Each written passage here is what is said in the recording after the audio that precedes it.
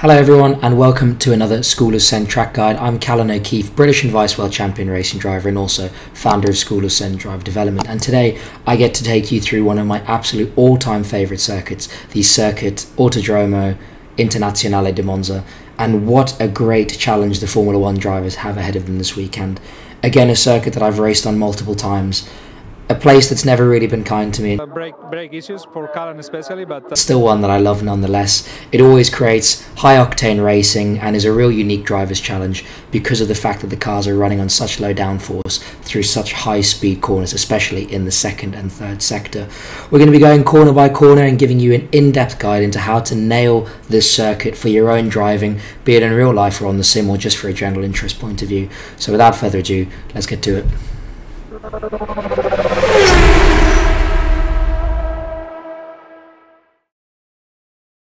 what makes Monza such a unique challenge compared to other circuits? Well, I sort of touched on it a little bit when I spoke about the cars running in low downforce configuration. And what that means for the drivers is the fact that they have to completely change their driving style. They're just not going to have that same level of grip, compliance, and adhesion that they're used to at a high downforce circuit like Zandvoort. So when the drivers rock up on Friday morning, the cars are going to feel completely different to what they're used to. Couple that with the fact that on these Pirelli tyres, they don't really get many shots at the feeling where the car's at the absolute limit. It makes it a very unique challenge from a driving perspective because they have to literally alter their entire driving style because this low downforce setup up means that it affects the entire cornering phase. It affects the way that they apply the brake pedals. It affects the way that they rotate the car and how they're able to rotate the car, and also the way that they're allowed to get back on power for maximum efficient traction. So you're going to see the drivers that adapt the fastest being the ones that get to the limit the quickest at Monza, and equally a nervous, skittish, low downforce car doesn't give you a load of confidence to push in the high speed corners like the Variante Ascari. And that's why we see so many incidents over the course of the years at Monza because it is a very very difficult place to get the absolute maximum out of the car. And we do tend to see very very close qualifyings and close races here. So you can't leave any time on the table here at all. That's really really important. The second thing is the fact that obviously we tend to see amazing races here. It's very, very easy, or not very easy, but it is possible to overtake in every corner. And in most of them, you can do it on the inside and the outside, so you've got plenty of options. So drivers need to be intuitive, adaptive, and inventive in order to find ways to pass and equal, equally keep people behind. Because, uh, yeah, over the years, we've seen almost every single possible pass, even cars on the grass, if you remember Sebastian Vettel and Fernando Alonso back a few years ago. And so, you know, in order to hold position and get from the start to the finish in the shortest period possible, which is the job of any racing driver, breaking it down to its simplest terms, it's very, very, very easy to get caught up in a fight and lose unnecessary time and wear your tyres out unnecessarily here. So it's a real driver's challenge and those are the two key things that we don't necessarily see at other tracks that make Monza so unique and so difficult. What about in terms of driving? Well, we like to break down the circuit into two or three key characteristics that drivers can focus on when they arrive. That's what we do with the drivers we coach on the sim and in real life. And with Monza, our key focus really is getting your braking absolutely nailed, getting comfortable and confident with where the limit of braking is, and focusing on strong, efficient exit. Those are the two things to focus on to start with, because that is will get you somewhere near the pace very, very quickly. Because the amount of time you spend actually in the corners is fairly insignificant compared to the amount of time you spend flat out on the straights.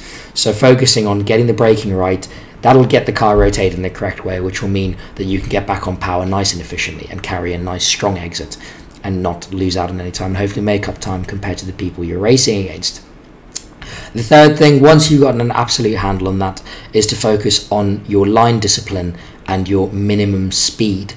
And that's that's two different areas for two different places. So your line discipline, we're talking about line discipline in the first chicane, line discipline in the second chicane, not exiting too wide in between and pushing too much and compromising your exit, and your line discipline in the Lesmos, making sure to hold the car at the correct point where visual reference is very, very difficult to find. And equally, the car's trying to go away from you because it's a medium to high speed corner with very low downforce. But we'll talk more about that when we get there. Let's focus for now on turn one. So as we arrive into turn one, you can see plenty of marker boards on the left hand side to help you with your braking. And one of the key things that we do to help ourselves adapt to Monza is you focus on braking in a straight line and keeping the car straight for as long as you possibly can. Therefore, you're devoting all of that mechanical grip to just slowing the car down. And equally, you're helping set yourself up for a better exit by allowing yourself to keep the car more over to the right hand side and allowing you to have the correct line discipline because that line discipline is so key. And you've got this nice reference point on the left hand side here. That strip of tarmac really acts as a nice marker point. You want to stay over to that for as long as you possibly can till just before the end of it before you dive in and use as much curb on the right hand side as you can get away with.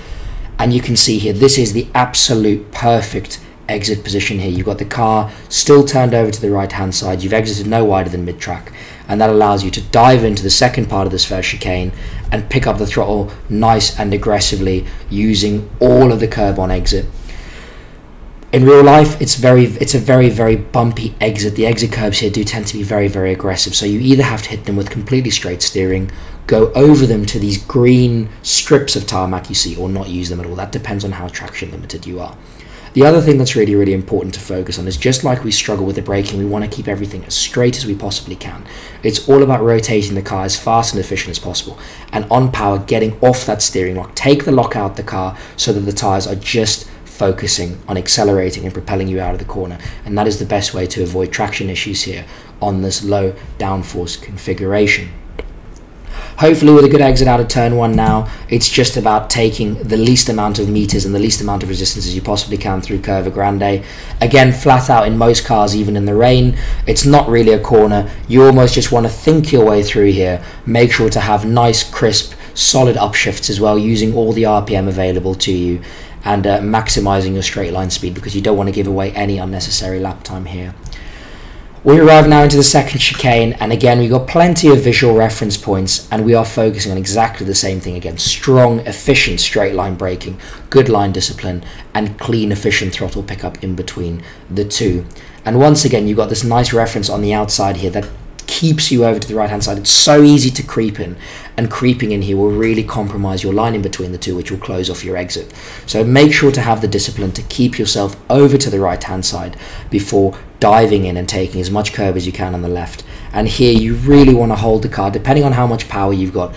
The more powerful the car, the more you want to hold the car over to the left because this curb that you want to get near or use is very, very bumpy. And then on exit, we find here a really aggressive curb that has big bumps and you can see the car moving which really affects the car on traction. So it's all again about rotating the car from the correct place in between the two and picking up the throttle as smoothly and efficiently as you possibly can avoiding wheel spin or big snaps of oversteer. Now in terms of general feeling when you're out on track the way how you know you've gotten that corner right is if you find yourself throttling loads in between the two chicanes, that's your body's way of telling you that you need to, or your mind's way of telling you you need to brake later, carry a bit more entry speed. Your body's trying to compensate because it feels like it's going too slow. If you feel yourself just using a little bit of throttle, lifting and releasing and everything turning nicely, but everything's still calm and under control, then you know you've gotten your braking 100% dialed in.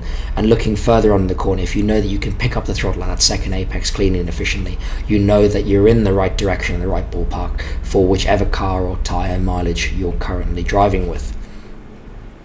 But really, really focus on those reference points and dialing into because that's so, so important in understanding where you can potentially find lap time or where you can potentially gain it on others if you do it perfectly. So now we arrive at the first real medium or high speed corner of the circuit and you can see there's not a great deal to go off of here in terms of reference points and also looking through the corner to be able to see your exit you can't even really see your apex. Your apex is a service road on the inside of that curve, which you only can see after you've turned in. But one of the things we do have here that really helps us out is camber. You can see the banking all the way to the apex here, which means that we can be really smooth to the brake. We don't need to upset the car by overslowing it. We can keep the aero platform nice and neutral and not manipulate too much rotation. We can rely on doing that with the steering. And again, as I said, we really want to focus on early progressive throttle pickup for your minimum speed. The exit for this straight isn't so important. It's all about making sure that you carry good minimum speed. The car is nice and well balanced, and we hold the line all the way into the apex and keeping ourselves inside of the camber to allow you to avoid any unnecessary snaps or potential trips to the barrier on the inside there. Oh, Lewis Hamilton's had a spin! Oh, hmm. So moving swiftly on, as we now go to the second Lesmo Now it's changed once again because we really want to focus on our exit because the run down to the second Ascari very very long and again to an overtaking opportunity. So most cars will brake somewhere near the 50 meter board and once again it's all about keeping the car over to the left hand side, rotating the car on a knife edge and then tucking the car into this camber and picking the throttle up really really aggressively about here and just trusting and driving through that understeer you're going to get and using all of the track on exits. Some cars, GTs especially, they can use the curbs here. Single seaters definitely stay away from them. You just want your wheels in between the line and the curb. That's the absolute sweet spot here in Monza for your single seater cars. And again, using all of the track on exit that you can get away with with track limits. Hopefully, with a good exit out of there, you're driving down the straight now. Again, all about being super smooth, focusing on your upshifts as we arrive at the last combination section on the circuit and the second last corner, the Variante Ascari. Now, again, the scene of lots of controversy, lots of drama, and also a big crash for Kimi Raikkonen a few years ago. A big bump on the braking zone round about the 100 metres makes it very, very tricky here because you get caught between braking just before the bump or after it, depending on what category of car you're in. But again, we want to focus, just like those first two chicanes, we want to focus on strong, efficient braking, good line discipline, and early, efficient throttle pickup. And one of the things that's more challenging with this section is the fact that it's such a long corner and it is more high speed. So you don't have that aero compliance, that aero grip that you're used to at other circuits. So you have to really feather the throttle and be very delicate with your steering movements because too aggressive movements here can lead to big snaps of oversteer and potentially either big spins or big crashes. As a general reference point, somewhere in between 150 is going to be your braking and then you're looking at again holding it till halfway through this outside curb and diving in. And your curb usage here again is critical. You want to use as much of this curb to the big sausages as you can get away with to cut the line and allow you to keep yourself no more than one car's width to the outside here. If you find yourself running all over that exit curb, it's going to compromise you and mean that you have to lift in the second part of the chicane, which will hurt you all the way down to Parabolica. We want to dive back in just after those second bollards and prepare this, this left-hander. It's not easily flat. Again, using just under that curb and using all of the track on exit.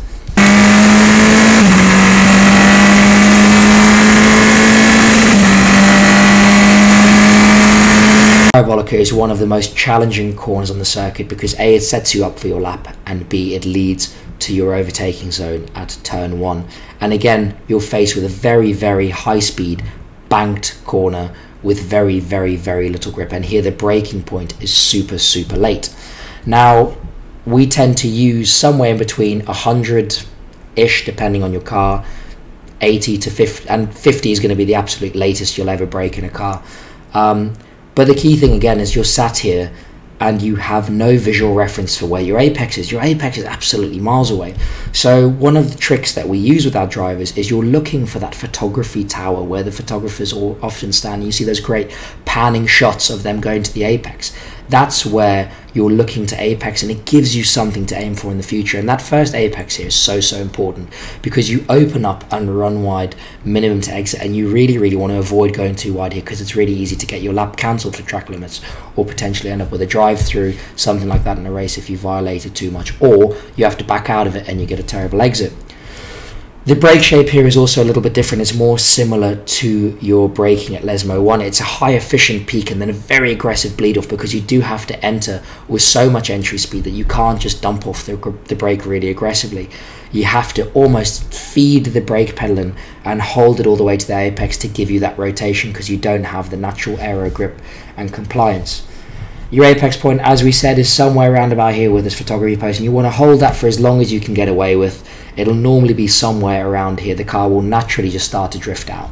And you can leave the camber nice and organically before running as wide as you can get away with or before you lose traction.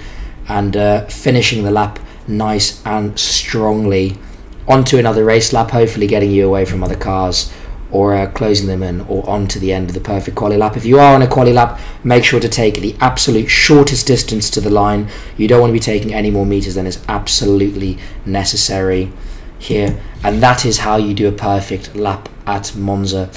As we've said, so many overtaking opportunities, so little downforce, a proper unique driver's challenge, and I, for one, am really, really excited to see 20 of the best drivers in the world race to the absolute limit there this weekend. But uh, if you like this video, please give us a like and uh, a comment as well, and tune in for more track guides in the future. But until next time, I've been Callan O'Keeffe, and uh, looking forward to seeing you again soon.